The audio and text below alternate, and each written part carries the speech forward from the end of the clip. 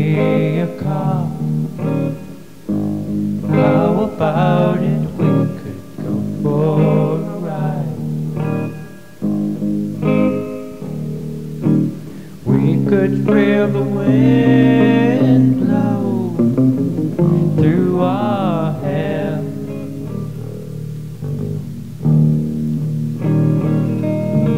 Wouldn't it be? homem.